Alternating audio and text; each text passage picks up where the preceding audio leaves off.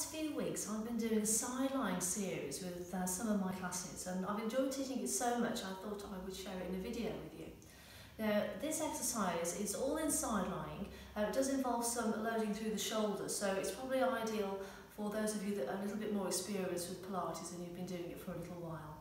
So all I'm using today is a, a sitting block just, just to help with some of the exercises. So the first thing I'm going to do is set myself up in side lying but up on the elbow. So I'm going to have the legs out nice and straight to start with. So I've got the elbow underneath the shoulder, I've got the ankles, knees, hips and shoulders all in a nice straight line to start with and then I'm just going to bend that bottom leg. The hand is going to go up onto the hip and I'm going to start with a side kick. So I'm going to just float that leg up and then I'm just going to swing it forwards and return, swing and return.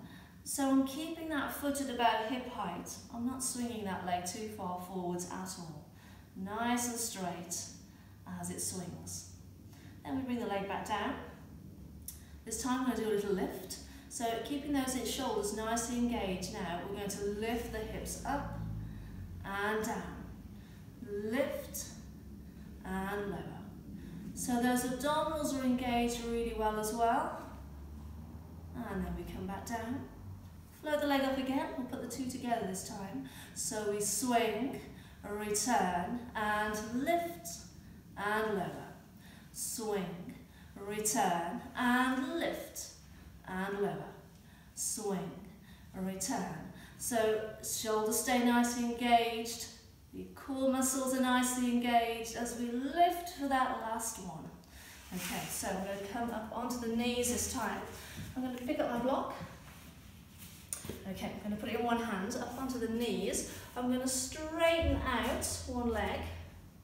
I'm going to have a nice stretch now. So the block is going to go down onto the mat as I send that arm up and overhead. So I get a nice stretch down the side of the body and then I come back to a nice upright position before I go over again and come back to center and reach and center and one more time to center come onto high kneeling hold onto the block I'm going to curl down and then this time, I'm going to reach up with one arm, flexing over to the side a little, and then curling back down. This time, I'm going to send the other arm up and over, and curl down again, and reach, and curl, and reach.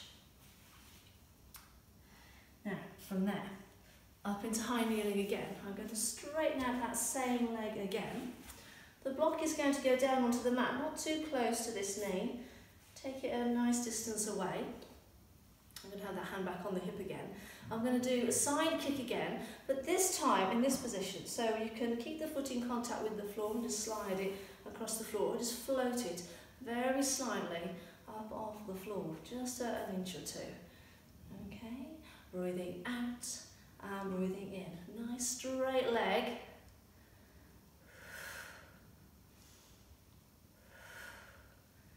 Come back into high kneeling, curl down again, and we'll have that little reach and a stretch to the ceiling.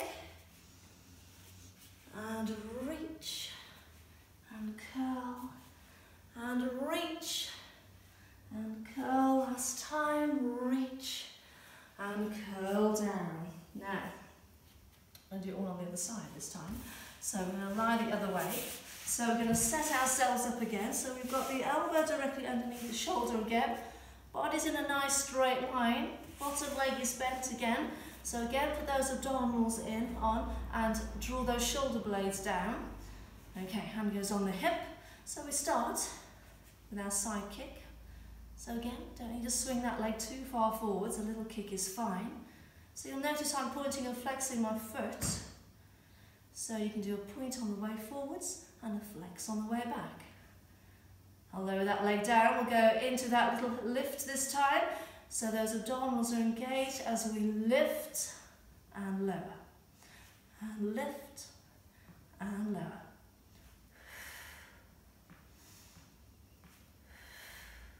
And then we put two together. float that top leg up again. We swing the leg forward, return and lift and lower and swing, return and lift and lower, swing, return, lift, last time. And lift. Okay, now up onto the knees. So I'll pick up my block again. So this time, I'm going to straighten out the other leg, and on the hip again. So the block is going to go down as I do my stretch. Arms out to the side, flexing over, have that nice stretch down the side of the body again.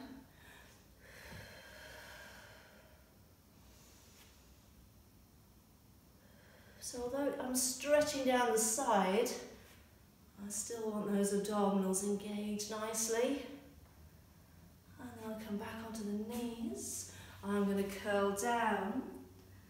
And then I'm going to reach up and over with that arm again. And curl down. And reach. And curl.